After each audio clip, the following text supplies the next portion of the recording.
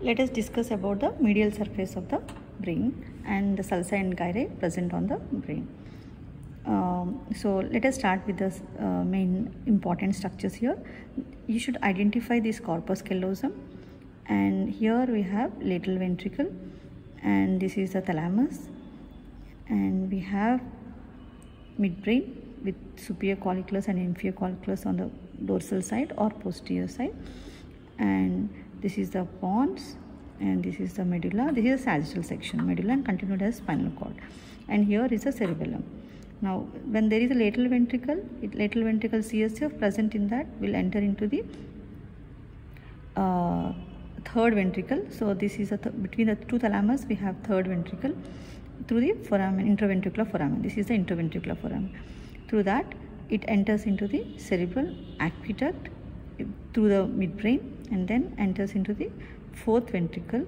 So this is a rhomboid shaped fourth ventricle which is present behind the pons and medulla and in front of the cerebellum. So having this in view, let us move on to the sulci and gyri. Now, so corpus callosum has the from anterior to posterior.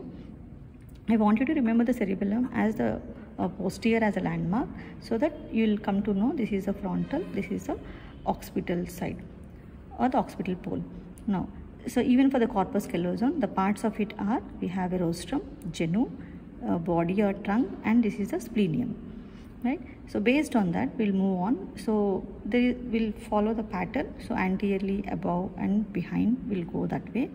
So in front of the genu, we have two sulci are there.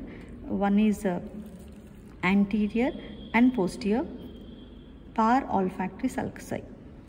Now, uh, first move on to these sulci and gyrus. So we have the gyrus here in front of the uh, splenium. This gyrus is called as the paraterminal gyrus. And between these two sulci, this gyrus is called as para-olfactory gyrus. Now, so this is a corpus callosum. So we'll move on above that. So above the corpus callosum, the sulcus is called as the callosal sulcus because this is a callosum, corpus callosum. So above this we have another sulci. This is a cingulate sulci. See this which is going starting at the front of the callosum, corpus callosum and winding round here and going upwards towards the superomedial border. This is the central uh, cingulate sulcus. Now we have uh, one small sulcus here. This is the central sulcus. So around that this gyrus is called as the paracentral lobule. Now the gyrus present here are so above this callosal sulcus this gyrus is called as the cingulate gyrus cingulate gyrus or you can remember that this gyrus this sulcus is called cingulate sulcus. So below that this gyrus is called as the cingulate gyrus and totally this total gyrus is called as the median frontal lobule median frontal lobule this totally.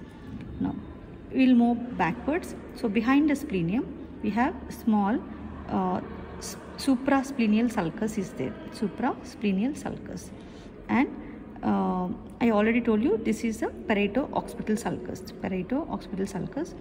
And this is a calcarine sulcus which is forming a Y shaped bibby this is this calcarine sulcus is joining the parieto occipital sulcus.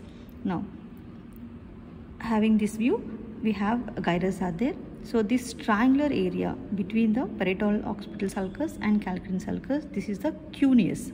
This gyrus totally is the cuneus. And in front of the parietal occipital sulcus, so this is the precuneus gyrus.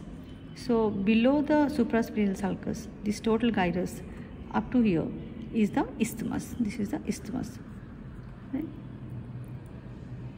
So this is about the medial surface.